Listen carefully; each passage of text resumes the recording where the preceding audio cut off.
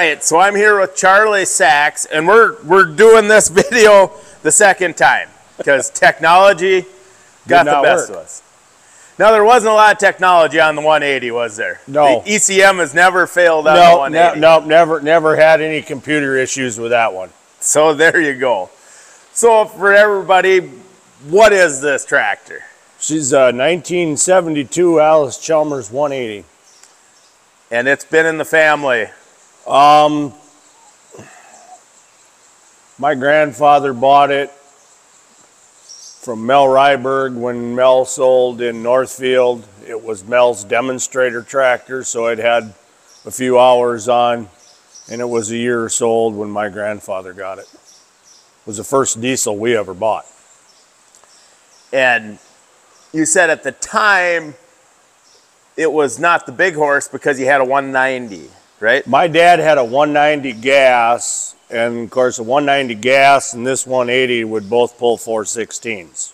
Even though the 190 was supposed to be a bigger tractor. Um, shortly after that, Dad bought a 190 XT diesel. oh. So you got the 180 and the 190 gas. And I'd be willing to bet that the diesel probably was impressive compared to the gas. It was, and like I said, when Dad traded the 190 for the 190 XT diesel, then that came with 516s instead of 416s. Yeah. You know, you, you could pull a bigger plow. Um, That was an XT, right? yes, that was, I believe that was a Series 2 or 3. That have a cab.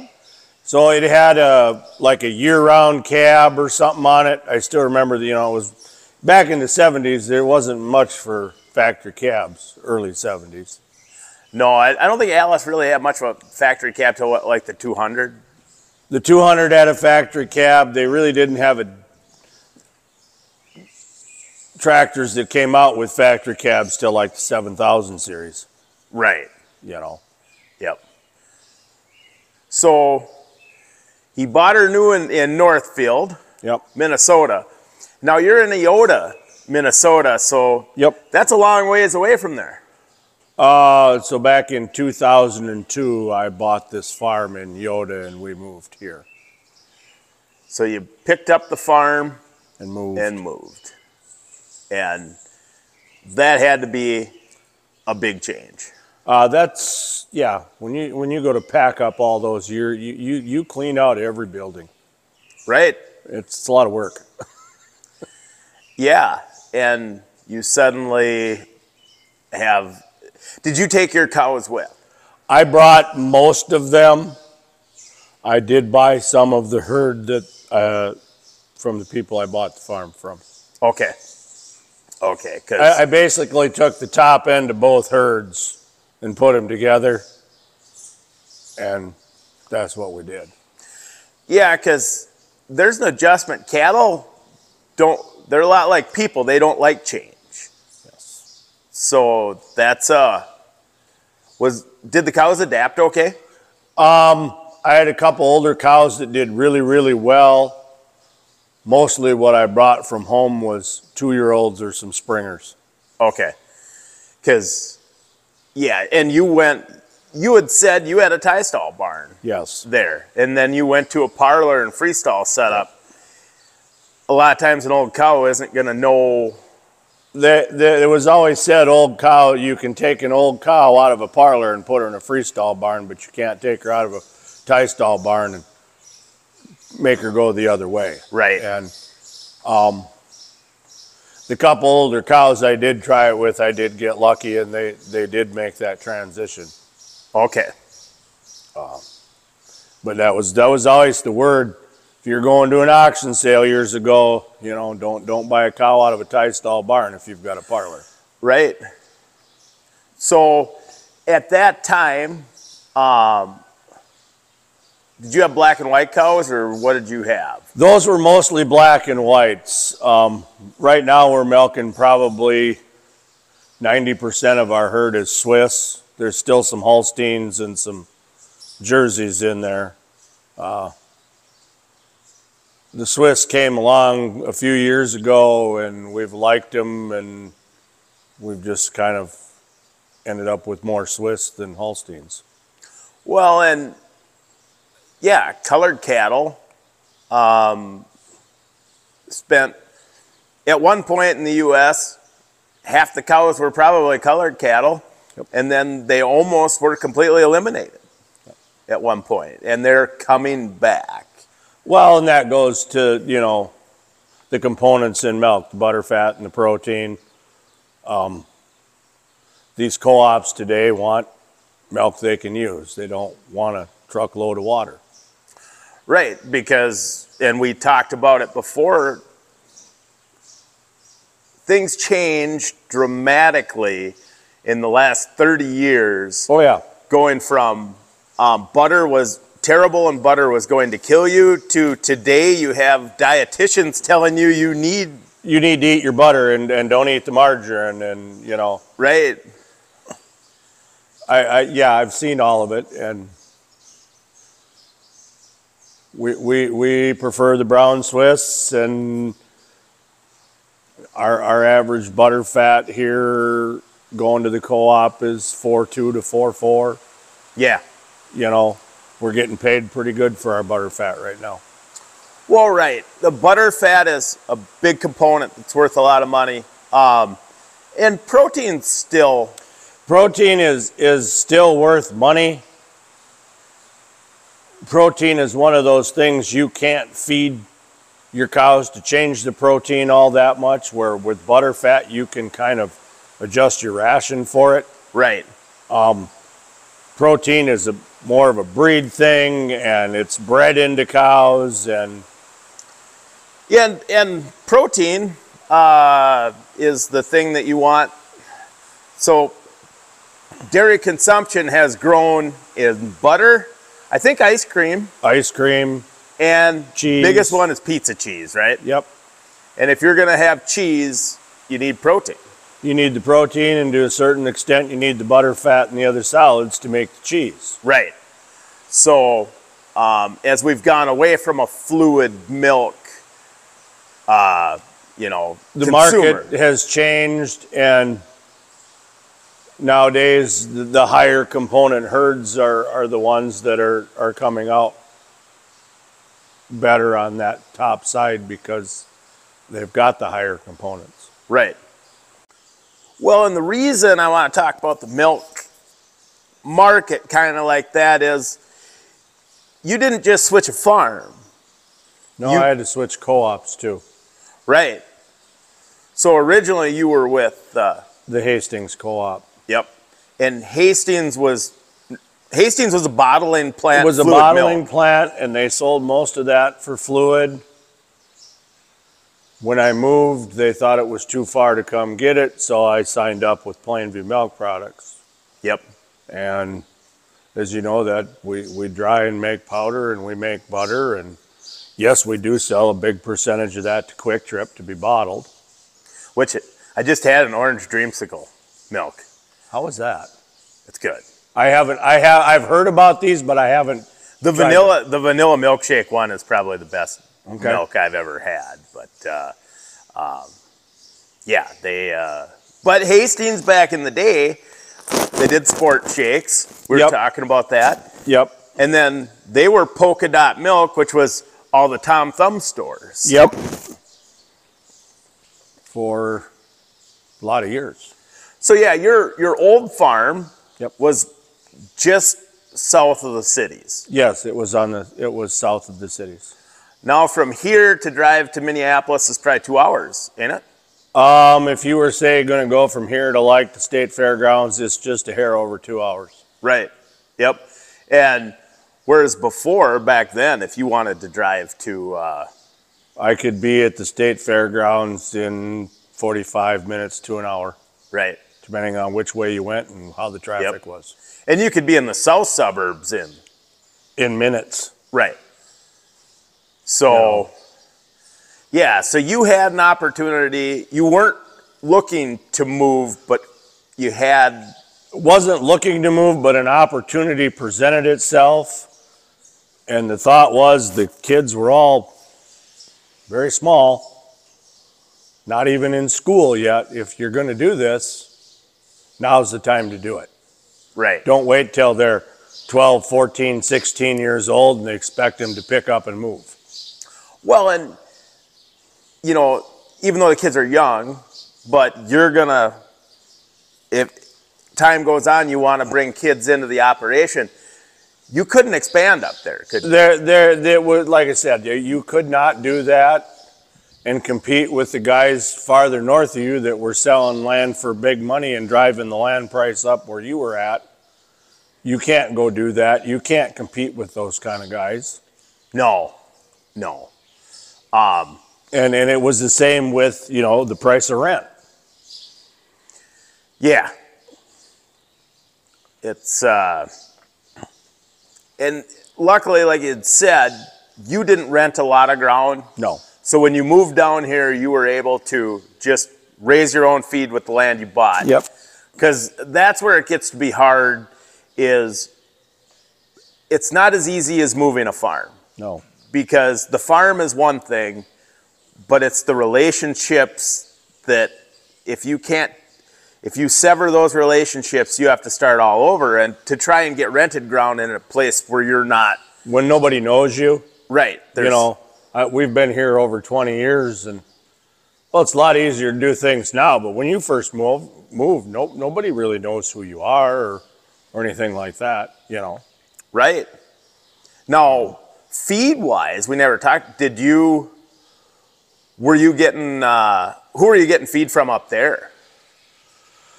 Oh, that was coming out of Interstate Mills, is what it was called at the time. It was the feed division of what would have been known as Cannon Valley Co-op, and I don't know what it is now, but you know, that was trucked quite a ways too. Okay. But you switched feed suppliers then when you came down here Yeah. also? Yep. Okay. So then, you know, you, you switch your feed, you're, you know, you got to get a different vet. Well, you, you're you're you're you know you got you got to redo all that. You you know you well you got to get to know and work with another vet. You got to work with another nutritionist. You know it, it's all everything's new, and you kind of go well, where do I go for this or where do I go for that? You know. Or like your dairy uh, equipment supplies. Well, and that that was fairly easy because just up the road in Plainview, there's always been a couple of good dealers and. Yep. you know, where at home you you traveled over an hour for that kind of stuff. Right. You know, the infrastructure here is much more designed for a dairyman than it was anymore at home. And at one point up there, there was a fair, there was quite a bit of dairy. There was when I was a little kid growing up, there was 15 or more guys in the township I grew up in that had herds of cows, Yeah. and I was the last one. So up there, for the most part, guys up there are cash crop. Yep. Um, seed production is, you know, I mean, there's some guys that do some, that feed some steers. There's some steers, there's a few hogs, there is a couple dairies left in the area up there. They're few and far between, Right. you know. And down here, it's, this is an area with a lot of dairies, Yes. Um, which it's, it's, I think if you've got the infrastructure, the dairy will stay around there. When you lose that, that kind of just, When, when you look at like Olmsted and Wabasha and Winona counties, there's a lot of cows in those three counties. Yeah. You know, that that drives a lot of businesses in this part of the country. Right, right. Um, so it was. Were you nervous though about a new farm? I don't know if I was really nervous. Somebody asked me that at the time, and it's like, well, I, I just want a farm, so I'm going to move. And, well, you won't have any friends or this or that. I says, that'll take time, you know. Yeah. but Uh, My biggest concern was, well, let's do this before the kids are old enough to go to school so that they start school there, they finish school there. right, That would, that to me, it just didn't seem like it was even an option. Wait till they were teenagers and then say, well, we're pulling you out of school and we're moving you all the way down here and you're not, you know, I just didn't think that was something that we needed to do, Right. Yep. you know. So the the move went good. You said like the cattle, they didn't, you know, and the cows that were here were probably fine. Yes. And, and it, it, it made it a lot easier for the couple we bought the farm from then because they had made the remark they didn't know if they could actually watch the cows be sold on an auction or something like that. you Okay. know. So, So- did they stay close? Um, for a while, they lived in Rochester. They now live up in the cities next to one of their sons. Okay. So, Yeah, I suppose to have that have them around and stuff, that probably helped you somewhat. it, it helped me having them around when I would get stuck or wouldn't know quite where something Yeah. was, you know. Yeah. Um, The well, and yeah, they this this circuit breaker is a little fussy if you well, do, tho- those were the kinds of things that, yes, that, that really helped, you know. yeah, Didn't know quite where, where, where, where is this water pipe? And I, I know I called Tom one morning and said, Tom, I've got a puddle of water here in a spot. And he said, you know, there's three water pipes under the ground right there that go to different places. So he says, I would get somebody with a backhoe. And sure enough, one of those pipes had a hole in it, yep, you know, but it was earlier in the spring and all of a sudden you got a puddle where there's not supposed to be one, yeah. you know. Well, and and When you didn't build it or you didn't install it and put it in, there, there can be some real head scratcher moments there, you know. oh yeah. Well, and then you had to learn land again. Like Yes. I know my farm from years of farming my farm. You know where you can go when it's a little wet and when you can't go there. Yep. I know what I should plant here and what I shouldn't plant there. Yep. I know, you know, that that took time. Yep. Did was that a little tricky at times? Uh, the former owner did tell me if we ever had a wet year, I needed to watch this spot and this spot and that spot. He didn't tell me about another spot. I found that one on my own. um, but yeah, that that can be a little bit of a, an issue, you know, when you're used to knowing, well, I can't do this, you know. Now, like we've had a lot of rain now, I, I know where I could go in a field and where I couldn't, Right. you know. Yeah, that And after 20 some years, I've kind of got it figured out down here, so I'm, I'm good to go now. What did your crop rotation change here versus there? I don't really think so. I mean, were there was is there a few more acres here than there was there? Um, just a slight few. It, it, I don't, I don't think it changed when we first moved. Now, as we got more into doing some different crop things with some winter rye and some no-till and that, it's changed more in the last 20 years, yeah. you know. Well, I thought maybe you have to be like if you're running more cattle, um, you know, you got to be heavier corn silage because you got more head or or something. But Now, the acres on that may have changed a little bit, but you always figure you needed so much corn silage for so many head and so much hay and, right, you know, now, like I said, that more changed with the introducing and using the cover crop for the winter rye as far as a feed source. You know, that, that's cut down on some alfalfa acres. right, and alfalfa is expensive. It's expensive to grow. Yes. you know um, and it's a lot more work than it used to be we have bugs and stuff now and Yes. so yeah that that changed and and farming and has changed so think back earlier uh, think back to your childhood and you were going to make hay in your mine well the 180 is probably on the small square baler, ain't it? Yeah, and there's a whole bunch of flat racks, and I'm standing on one of those behind a baler. Right. And today, there's very little small square dry hay ever made. Yep.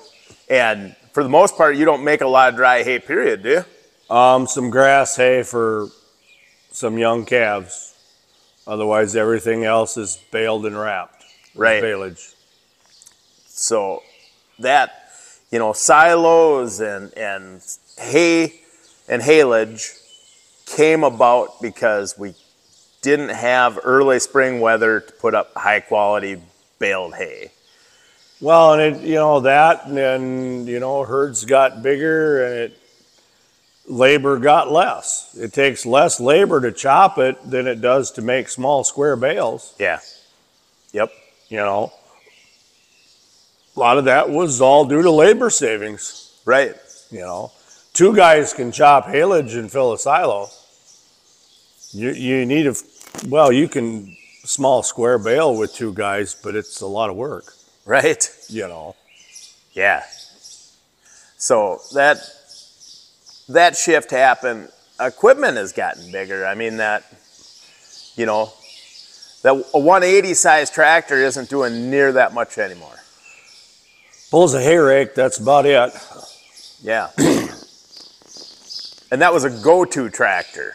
Oh, that tractor did everything from grinding feed to plant corn to when we got the first portable TMR mixer, it ran that TMR mixer for probably 10 years, Yep. you know. Now did No, he did he much. buy a new plow with this tractor when he got it? No, he had a 416s Moline plow, Was it a three, three point mounted. Okay. So this has a three point, not the snap coupler. Yep, This has got three point hitch. Okay. Um, so he had a Moline plow. Yep. Okay. Allis was Allis had a fairly good plow actually. Um, the five bottom was an Allis. Okay.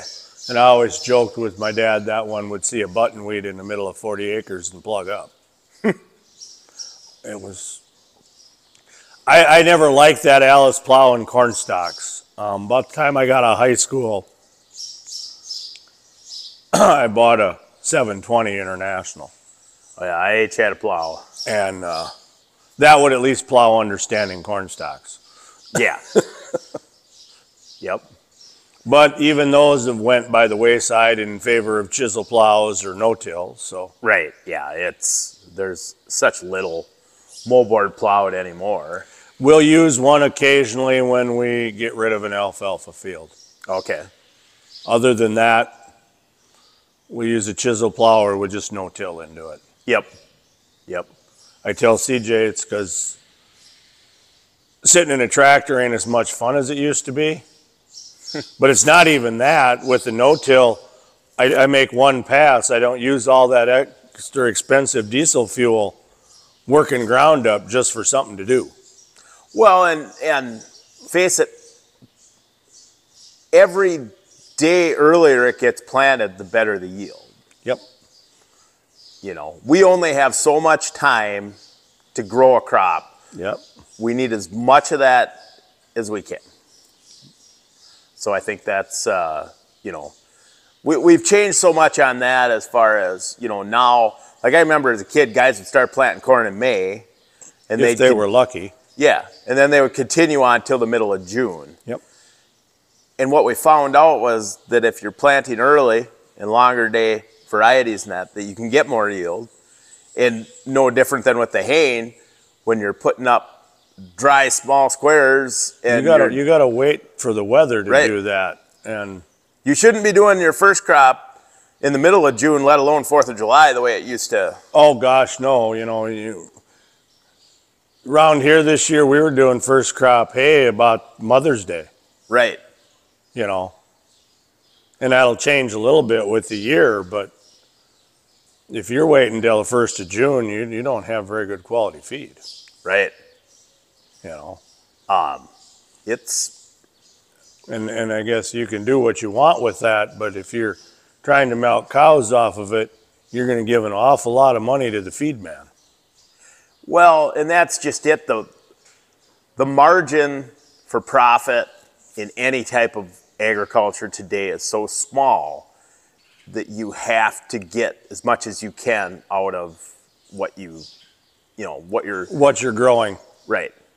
So, you know, and and that's that could be crops, but that can also be milk. You need to get as much milk, which you're growing milk out in the field. Well, face it, I mean, the the agronomist and the nutritionist aren't here to make you money. They're they're here to put money in the co-op's pocket. right. You know, you you've got to grow as as good a quality feed and crops as you can if you're gonna make this work. Yeah. Yep. Um, so the so the 180, she didn't uh, you didn't get a new plow with that. That was 416s though, you said. Right? Yep. And I, it- I'll take that back, Ryan. I'm not 100% sure. I was pretty little. okay. If that was a used plow or if that was would have been a brand new one that he bought from Werner's Okay. on a leftover. Yeah, because Werner's were a Moline dealer. Yes. So, like I said, I don't. I just remember it was 416 Moline. Was the toggle trip? It wasn't the automatic reset version. Yep. Um, actually, CJ's got an Oliver, which is the exact same plow. Yep. You know. Yeah. So it it was important for haying a lot. Yep. This tractor cut hay, you said, and Cut. It cut a lot of hay. It pulled a lot of chopper boxes. It was always this was always a nice tractor to unload chopper boxes with because when you got off the platform to hook the PTO up, you didn't have to get back on. You could stand on the ground and pull the clutch and put the PTO in gear. yep. You know, you could reach the throttle from standing on the ground. Yeah. You know, so I uh, always thought it was a great tractor for that because you just didn't have to keep climbing up and on the tractor all the time. Yeah. You know, And you said this one didn't really spread manure in the winter because you had a D17 with a heat houser, right? yep, that was the loader tractor for many years. And then when you bought this farm, you went to liquid manure. Yes. And you aren't pulling a big tank with the 180. No. no, uh, I, it, it may have pulled one of them around the yard empty at times, but it just that's just a little too much weight, Right. Yep. you know. So she uh, she wasn't doing that job. She she's been raking hay or corn stalks the last few years. We we try and run it some, but like I said, it's not really big enough to to do anymore.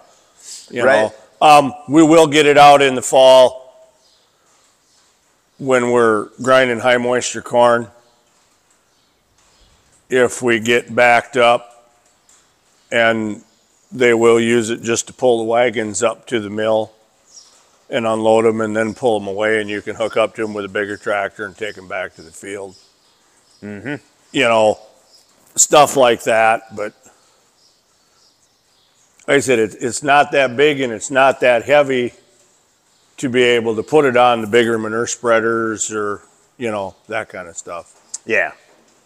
And yesterday, when I baled hay for a guy and had to drive an hour to get there, well, it would have taken me three with this one. and I don't know if I'd have wanted to sit outside and, and bale hay with it anymore. No, no.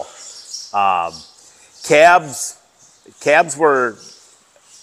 Once you got a good cab, that was. I always said that was probably as important as anything on the farm to me when I got my first really nice cab tractor. Yep. Because as a dairy farmer, I could chore all day. Like there was always something to do, but I could get my field work done at night because you had a nice cab, you were comfortable, good lights. You weren't out there in the dust and the dirt or Yep. cold, you know. Um, we did it, but there, there's a lot nicer tractors with cabs on to go out in the field with. Yeah. Yep. So then, you like the 190 or the 180 diesel enough. Your dad bought a 190 XT diesel. Yep. Did you keep getting bigger with Allis? So we did the the First 190 was, was a little bit of a problem, and I'm not going to get into all of that, but they found out after five years and five overhauls that the block was warped when it was cast. Okay. So the tractor got sent down the road. Yep. That returned as a 200. With, that was the first tractor we had with a factory cab. Okay. Shortly after that, the old D17 was retired, and he bought another 190 XT, but it had a loader on it. So we now had a that had an old cozy cab or something. But now we had a tractor and loader with a cab, Yep. and uh, in amongst all those time frames, there was two more 180s that showed up.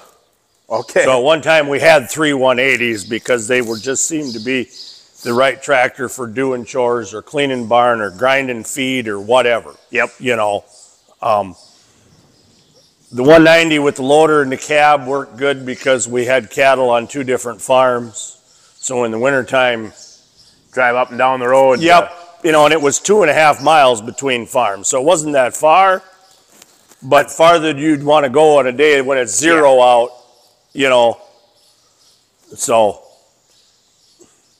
it, it worked, but um, That was a diesel too, then, right? yes. And then I don't know about the mid 80s. I blew the 190 up grinding feed one morning. And the day before that, they had locked the transmission in the 200 up. So we ended up getting a 7010. Okay. And we had that for, for many years. I ended up fixing the locked up transmission, the one with the blown motor got sent down the road. Yep. Well, 7010, that's a black belly. Yep. That, ha- that was the first power shift. Okay. Uh, I don't remember when we, that had to been late 90s when we traded that off on something else. Okay. Um, The one, he bought a 80 30 two wheel drive outright at one point in time in the late 90s. Yep. And I don't even remember what, what we did with that one, where that went, but it's not here. so, Which, yeah, then you ended up getting into front wheel assist. uh, so that would have been the 7010. We had a Agco Allis 8630 for a short time that had the front wheel assist and had a loader on it that was, you know, first quick attach loader we had. Yep. Had some transmission trouble with that one, and we didn't keep it more than a year. Then we ended up with a 9745. And I had that quite a few years before I traded it off for that DT 160 that's on the baler. Okay. So, But once you got front wheel assist, it was nice.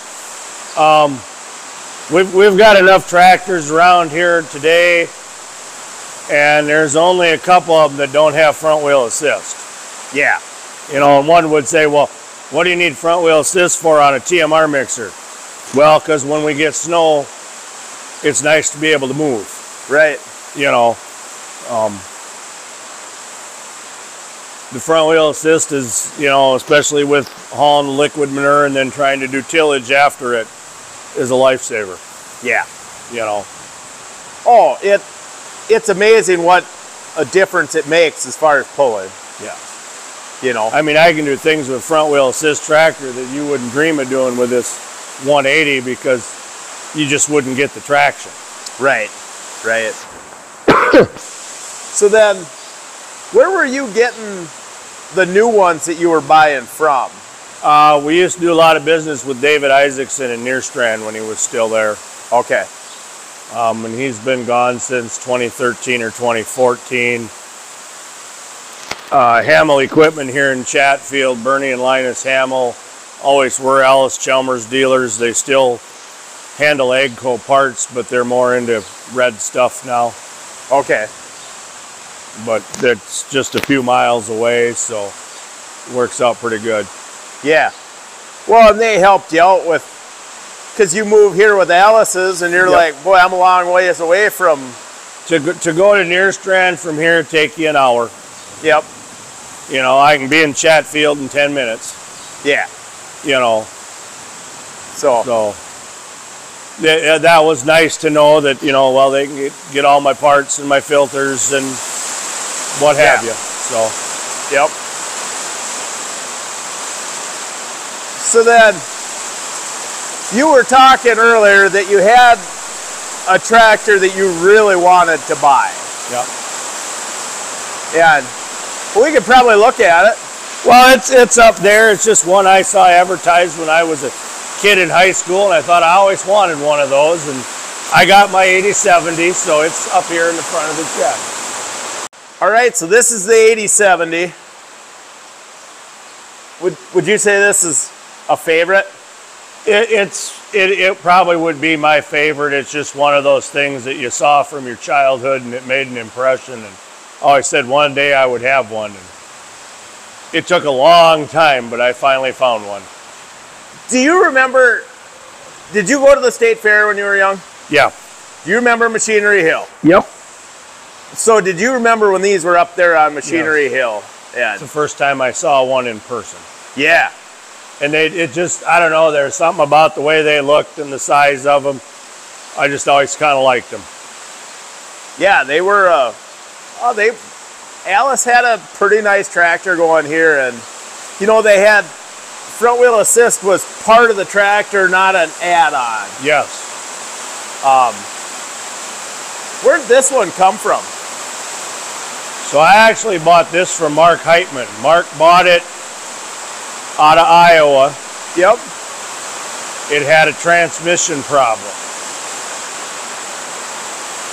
I bought it really reasonable from Mark and fix the transmission issue Yep.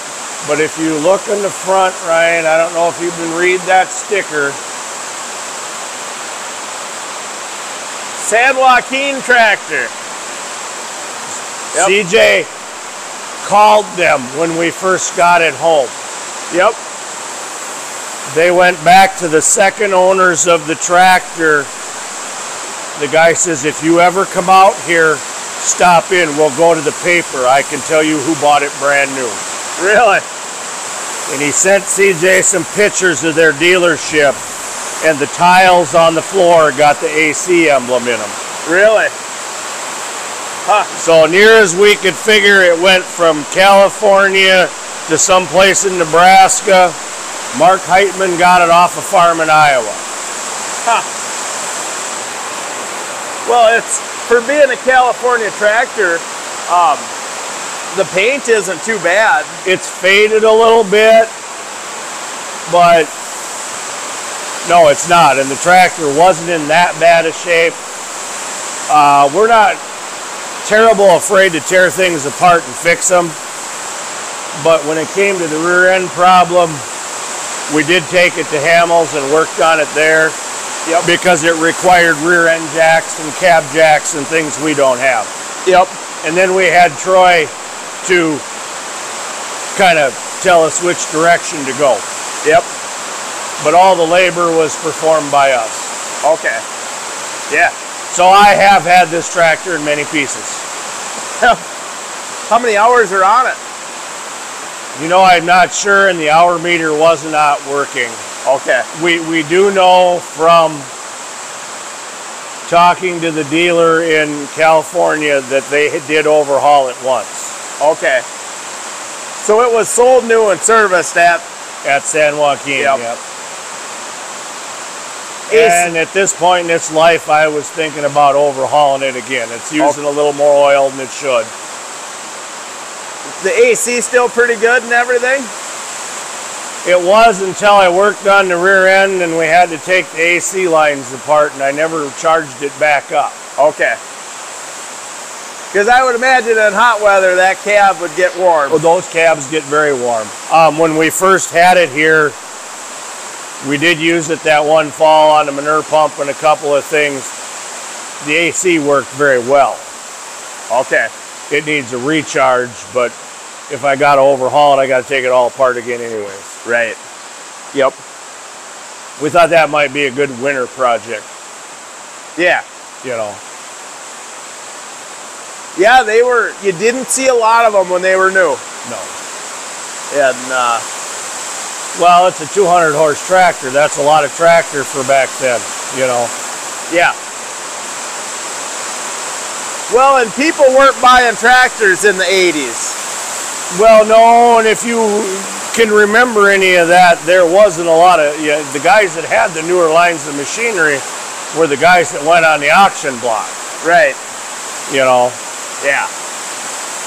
Yeah, there just wasn't a lot of tractors bought. They You know. they hit that with a new series. Well, International got caught in it. Yep. You know, new series of tractor, and there was no money in agriculture, and it just snowballed. Yeah, it's it's too bad that Allis never really got a chance to continue with this tractor. It was it had a short life. Well, they, they were that was all cut short. Like I said, that was only released shortly before they they were the doors were shut, and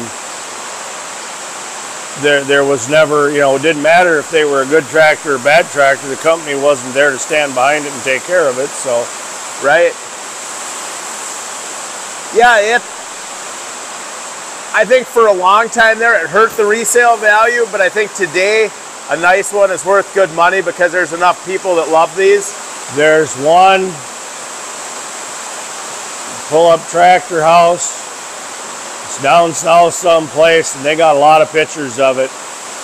And it looks like come off showroom floor, and I don't know how many hours it's got on it off the top of my head, but they're asking forty thousand. Yeah, You know, run of the mill one is probably thirty. yep, You know, yeah. That's and I guess if you look at it, 180 to 200 horse tractor for 30,000 doesn't that isn't that bad.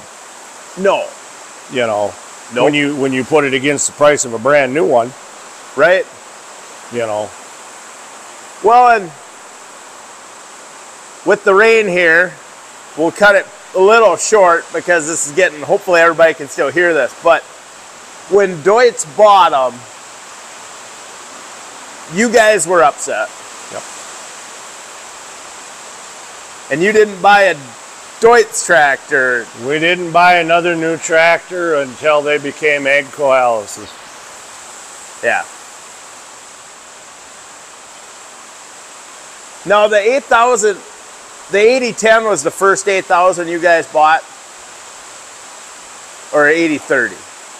probably the the 8030 was before the 8010 Was that one front wheel assist or two wheeler? That both of those were just two-wheel drive tractors okay. Were they fairly new though when you got them?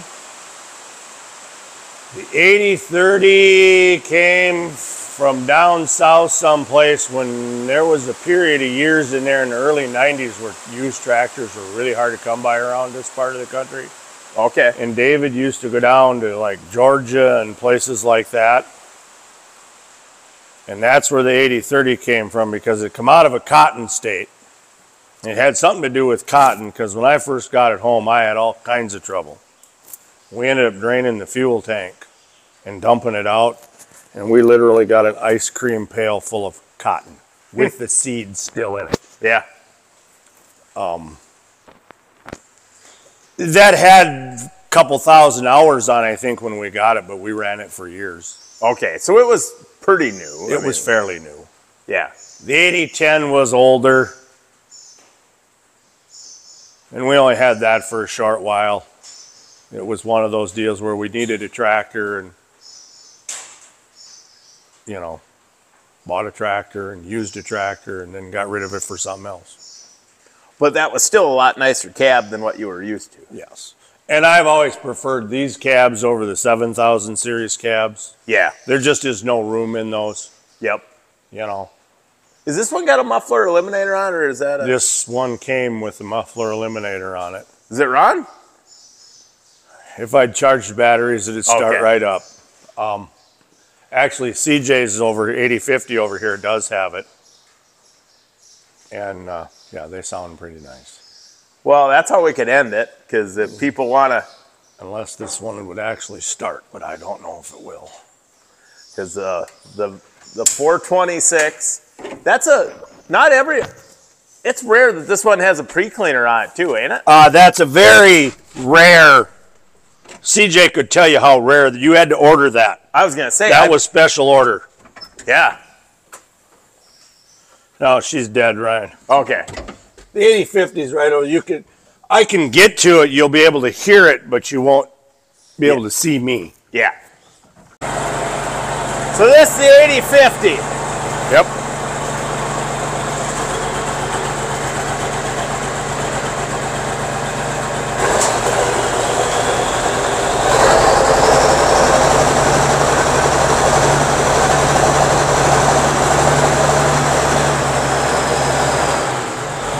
That sounds good.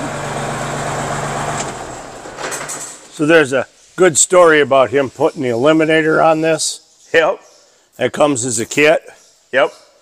You got to drill a couple holes in that plate where that big Donaldson muffler used to sit. Yep. Well, him and his buddy didn't realize it, and they just put the clamps on it, Yeah. and it kept falling off. The 8070 was sitting in the yard with the digger, and they come out of the barn, and he's got the side shield off the 8070 looking at to see how they mounted it, and I walked up and says, "Hey, idiot, you got to drill holes in this." Put it on the right way, and it's been fine ever since. Yeah. Yep. No, there wasn't a lot of difference between an 8050 and an 8070, is there? 25 horse. But I mean, like, because they were both 426s and. 426, you could get a power shifter, power director transmission. Yep. Everything was, it's the same rear end, it's the same transmission. It was just power. Yep. Yeah. No, they're uh, they were uh, a heck of a tractor for for the Allis guys. I mean, they were they really made a lot of them a big jump with these. 40, 426, if you treated it right and took care of it, it would run for a long time. Yeah. Now, when they put them in the 80, 70, the problem was there's a fine line in there how far you can turn that up. Yeah. And like 200 horses pushing it, or you'll put a window in the block. Yeah. How how's this been then? The the DT Agco. It's got almost 8,000 hours on it. It's a 2006. Um, for the most part, it's been okay. We've had an electrical issue with something to do with the transmission a few times. But engine wise and stuff, Th- she's that been, Cummins just runs and runs and runs and runs. actually I think I think this is a Sisu, ain't it? On these, I think it is. Ain't it? Oh, maybe not. No, that's a Cummins. Wow, okay. Huh. So yeah, there's been a lot of changes between equipment, especially on the Agco stuff, Yes. and and dairy farming and farming in general has changed so much in these years that uh, you know it's it's pretty crazy to think that you know. So thank you very much for doing this again. After Not, not a problem, sir. And you know, maybe someday when it's really nice, you come back and we'll get them all outside and have them all lined up for you. Did you do you ever go to the gathering of the orange? I have never been a when it was always the week of the county fair, Oh, and the kids were always showing or something. So we've never been able to to go to that. But yeah. Um, I'd like to. Yeah. you probably should. Yeah. So, all right. Well, thanks again for doing that. You bet. All right.